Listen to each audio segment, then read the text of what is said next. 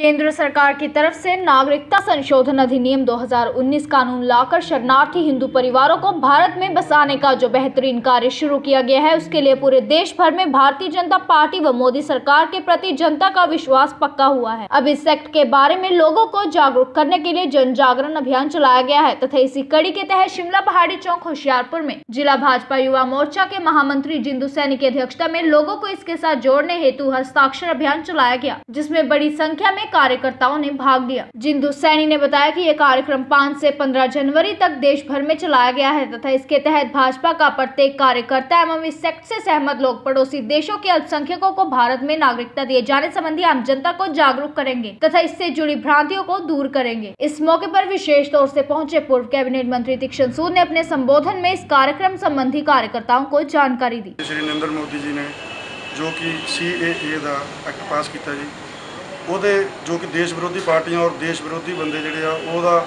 ਵਿਰੋਧ ਕਰਦੇ ਆ। ਉਹ ਤੋੜ ਭੰਨ ਕਰਦੇ ਆ, ਉਹ ਅੱਗਾਂ ਲਾ ਰਹੇ ਆ ਆਪਣੇ ਦੇਸ਼ ਦੇ ਵਿੱਚ।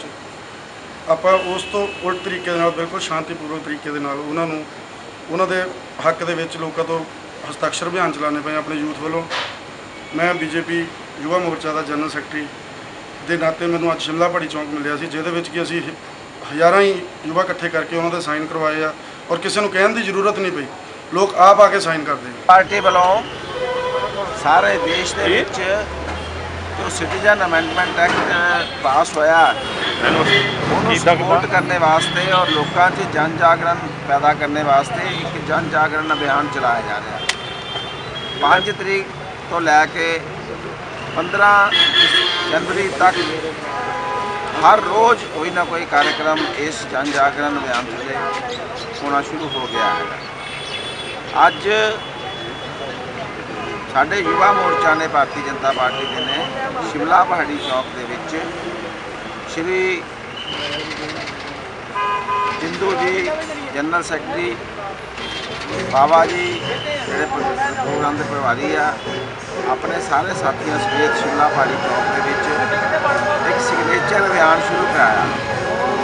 ਔਰ ਇੱਕ ਵੱਡੇ ਫਲੈਕਸ ਤੇ ਸ਼ਿਮਲਾ ਪਹਾੜੀ ਚੌਕ 'ਚ ਸਾਰੇ ਆਣੇ ਜਾਣੇ ਵਾਲੇ ਲੋਕਾਂ ਨੂੰ ਮਿਲ ਕੇ ਉਸ ਫਲੈਕਸ ਤੇ ਸਿਗਨੇਚਰ ਲੈ ਰਹੇ ਆ ਕਿ ਅਸੀਂ ਸੀਏ ਦਾ ਸਮਰਥਨ ਕਰਦੇ ਅੱਜ ਦੇਸ਼ ਦੇ ਵਿੱਚ ਇਹ ਸਥਿਤੀ ਆ ਕਿ ਜਿੰਨੀਆਂ ਦੇਸ਼ ਵਿਰੋਧੀ ਤਾਕਤਾਂ ਹਨ, ਜਿੰਨੀਆਂ ਦੇਸ਼ ਵਿਰੋਧੀ ਪੋਲੀਟੀਕਲ ਪਾਰਟੀਆਂ ਆ ਉਹ ਦੇਸ਼ ਨੂੰ ਤੋੜਨ ਦੇ ਕੰਮ 'ਚ ਲੱਗੀਆਂ ਆ।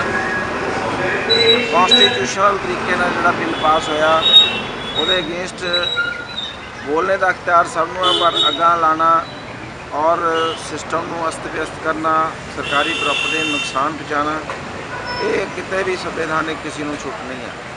ਪਰ ਉਹ ਪਾਰਟੀਆਂ ਕਿਉਂਕਿ ਉਹਨਾਂ ਦੇ ਹੱਥ ਕੁਛ ਨਹੀਂ।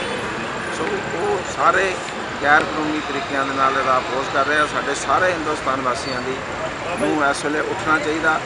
ਔਰ ਇਹ ਜੋ ਬਿੱਲ ਆ, ਜੋ ਐਕਟ ਆ, ਸਿਟੀਜ਼ਨ ਮੈਨੂਫੈਕਚਰ ਐਕਟ, ਇਹ ਹਿੰਦੁਸਤਾਨ ਦੇ ਫਾਇਦੇ ਵਾਸਤੇ ਆ। ਔਰ ਇਹਦੇ ਵਿੱਚ ਕੋਈ ਵੀ ਐਸੀ ਮਦ ਨਹੀਂ ਆ ਕਿ ਜਿਹਦੇ ਨਾਲ ਕਿਸੇ ਨੂੰ ਨੁਕਸਾਨ ਹੁੰਦਾ ਹੋਵੇ। ये नागरिकता देने वाला एक्ट नागरिकता खोने वाला नहीं, इस करके सारे हिंदुस्तानी में द स्टेलर न्यूज़ के लिए संवाददाता संदीप डोगरा के साथ गुरजीत सोनू की रिपोर्ट।